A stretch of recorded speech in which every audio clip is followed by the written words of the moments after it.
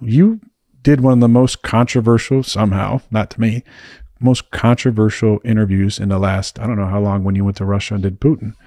How did it feel coming back? Because like anybody who watched the interview was like, number one, it was fucking awesome. Number two, Putin came off as an interesting, thoughtful, smart individual. And if you've read 1984, you know the base game plan of government control is you have to have an enemy and you have to slander that enemy regardless if you know anything about him. And I think a lot of people are like, "Oh, Putin apologists are like, you know, uh, you know, whitewashing all the stuff that he's done to the different people." And I was just like, "No, I'd I'd love to see Joe Biden give an interview where he can speak on the history of uh, the United States in the same way that Putin talked about the history of uh, of his country."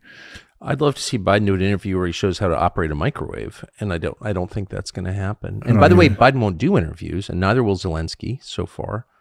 Um, but what was it like to to come back and well, you were you were like in a couple other places after that? Yeah, I went to the Middle East after that for a while. I mean, I was out of the country for almost a month, so I missed. And I don't ever read about myself anyway because I know who I am. I don't need someone to tell me. So um, I I missed all of that as I always do.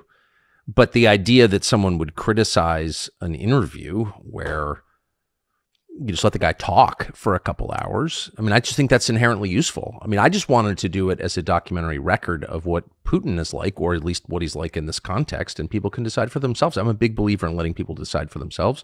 I think adult men have the right to come to their own conclusions about things. Adults have the right to. So um, I'll never stop believing that because we're not slaves.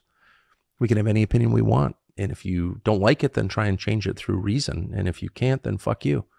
And I really feel that way. So that's that's the kind of perspective I had going into talk to Putin. My perceptions of him are exactly what you just said. I thought he was an interesting guy, smart guy, um, impressive guy. You know, in some ways, obviously a lot more impressive than Joe Biden. But he's Russian and he runs Russia, and I'm American and I live in America, so I care about my country. I want my leaders to be better. I'm not on Putin's side. I don't have any emotional attachment to any foreign country because I'm not a foreigner. I'm an American, and this is the only country I care about.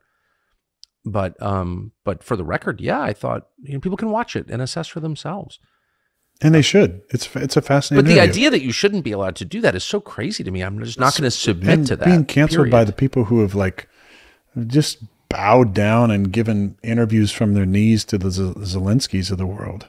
Gargling as they interview. Yes, It's wild. As this guy comes over in fucking uh, an outfit you'd wear to the, you know, to the store on a Sunday morning to ask Congress for another hundred billion dollars is fucking wild. he looks like he's going to be in the you know Village People music video. I mean, it's like insane. The whole thing is like insane. You do sort of wonder, like that, and a million other things going on right now. You wonder if they're they're sort of seeing how far they can push the population until someone starts laughing. Like, are you joking? It's, it feels like that sometimes. Like, what can we? What if we did this? Is anybody going to give a shit? No. Okay. Well, okay. Now let's try this one here. We're going to put Joe Biden up and do this. Wait, what? This guy who can't even uh, walk over here shits his pants every now and then. we're gonna, then we're going to pick the single dumbest but most self-confident person in the entire nation of 350 million people and make her White House press secretary. And you have to deal with this every day on your television. No, I know. It's well, I'm going to But that's not. uh, But but the, the the real question I had for you in in relation to to freedom of speech and free speech is two two I believe champions of free speech who are now uh, in exile. Um, Julian Assange and Ed Snowden, I know them both. and you've had conversations with them. Um, both people who expose corruption, and Yes.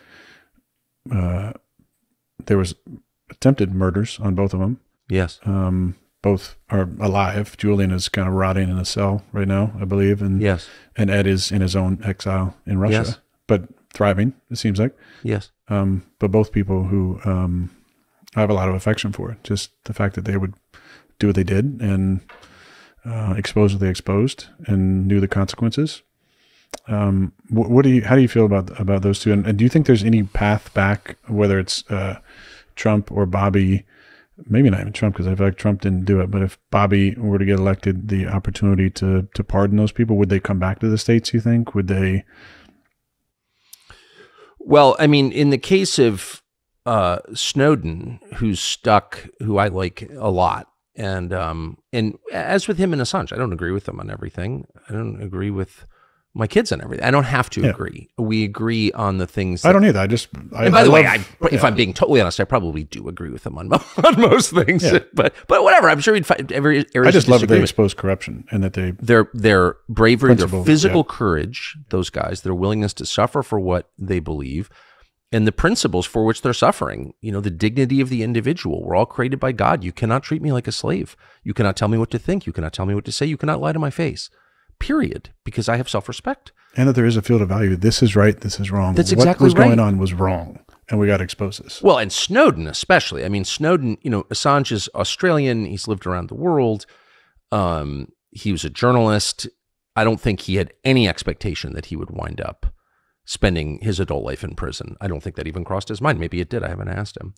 Uh, but Ed Snowden knew exactly what he was getting into, Yeah. and he was, you know, middle class American, high IQ guy, lots of job opportunities here. He could have lived a very comfortable life with his wife and kids, and he intentionally put all of that at risk in order to tell Americans what their government was actually doing. And what's crazy to me is not that the US government is trying to murder him, which of course they are, but that news organizations don't defend him. That's when you realize the new, quote news business is totally fraudulent.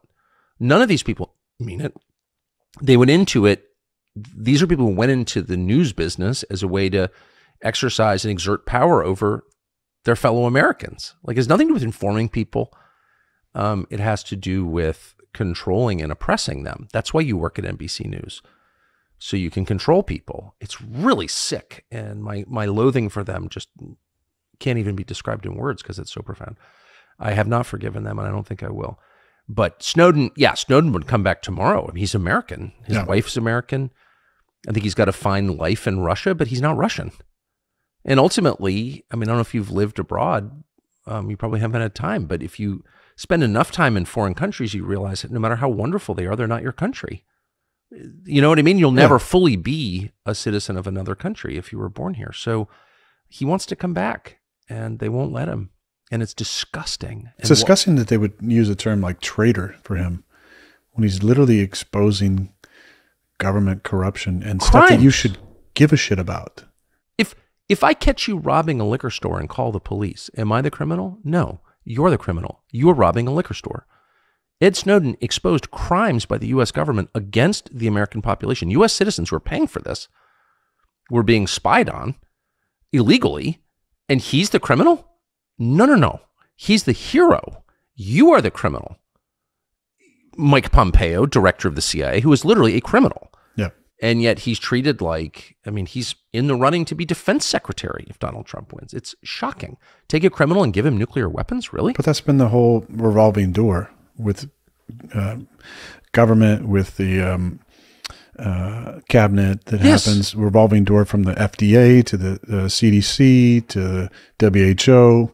It's just a it's a secret handshake society of everybody just patting each other's back and, and staying in it. And that's the corruption that needs to be exposed, and it's it's out there, It's utter. and they're just doing it so overtly. Who gives a shit? Well, in very high stakes too. It's not it's not just like, well, I'm not doing the best possible job as transportation secretary. It's like, no, actually I'm forcing the the entire country to take poison. I'm killing people. I'm destroying the U.S. economy for the benefit of a few, et cetera, et cetera. These are like, these are big things. These Yeah. are not minor minor fuck ups. These are like these are major felonies, in my opinion.